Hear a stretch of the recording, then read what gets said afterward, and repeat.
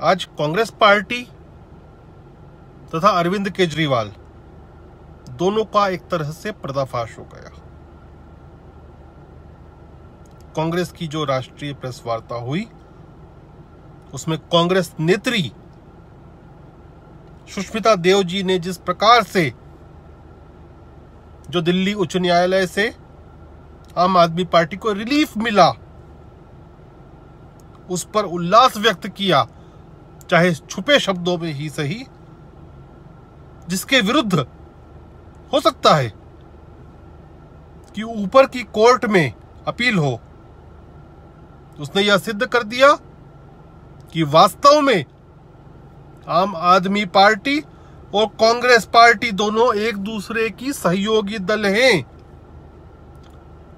और एक दूसरे के विरोध का जो नाट्य करते हैं ये वास्तव में जनता जनार्दन की आँख में धूल झोंकने का कृत्य है। आज ये एक्सपोज